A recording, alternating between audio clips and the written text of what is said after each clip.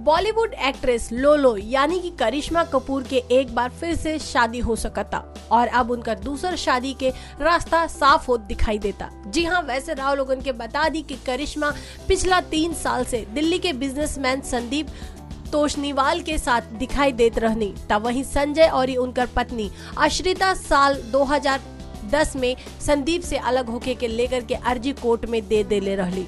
और ये अब सात साल बाद मुंबई के कोर्ट में इन दोनों के अलग होके के पेपर पर मोहर लग गई बा।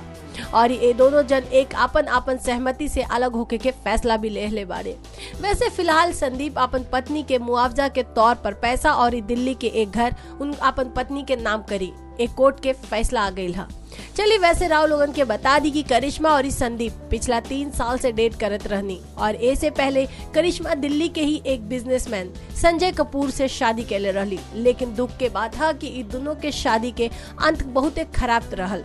वैसे राव लोगन के ये भी बात बता दी कि करिश्मा और इस संजय के भी दो बच्चा बा। काफ़ी समय से कोर्ट के चक्कर लगावे के बाद फाइनली 2016 में करिश्मा इस शादी से आज़ाद हो गई नी। और ये अब उम्मीद लगावल जा रहा बा कि करिश्मा और संदीप बहुत ही जल्द शादी के बंधन में बंध जाए नेक्स्ट नाइन न्यूज़ रूम से प्रियंका राज की रिपोर्ट।